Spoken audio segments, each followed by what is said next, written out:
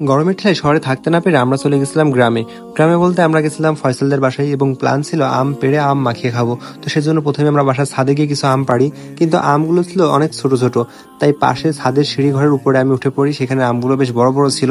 এদিকে আমি কষ্ট করে করে আম পাড়তেছি, আর এদিকে আবদুল্লাহ শুরু করছে দুষ্টামি হাই ফাই করা শুরু করছে। তো আমি রাগ করলে দুজন এগিয়ে এসে আমার কাছ থেকে আম ধরে। আম ধরতে গিয়েও একটা আম নিচে ফেলে দেয়। পরে ফয়সাল সেই আমটাকে খুঁটে নিয়ে একটা শোডাউন দিল হালকা করে, আর আবদুল্লাহ তো দিক প্রায় নাচানাচি শুরু করে দিছে খুশির ঠেলাই পরে বললাম, এখানে অনেক গরম, এখানে এত নাচানাচি না করে, চলো ভিতরে গিয়ে একটু বসে বিশ্রাম নিয়ে পরে বাউরের দিকে যাব। তো পরে আমরা সেখান থেকে ঘাসের ভুঁয়ের ভিতরে দিয়ে আমরা চলে আসলাম বাউরের বেশ নিরিবিলি একটা পরিবেশে। পরিবেশটা এত সুন্দর ছিল যে যে কারোর ভালো লাগবে। তো তারপরে আবদুল্লাহ কিছু কলাপাতা নিয়ে আসলো, আমরা আমগুলো সেখানে সুন্দরভাবে ঢেলে, প্রথমে আমগুলো সুন্দরভাবে স্লাইসার দিয়ে ছুলে ভালোভাবে পানিতে ধুয়ে আমরা আমগুলো সেই স্লাইসার দিয়ে পাতলা পাতলা করে কেটে নিলাম।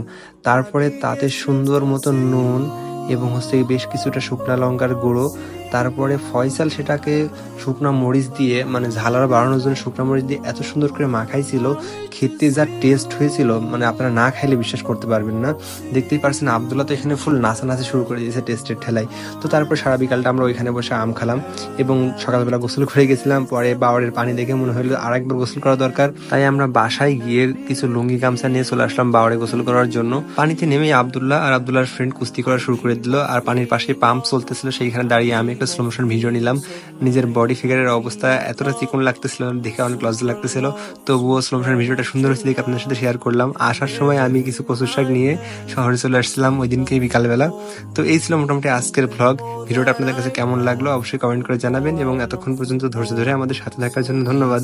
আসসালামু আলাইকুম।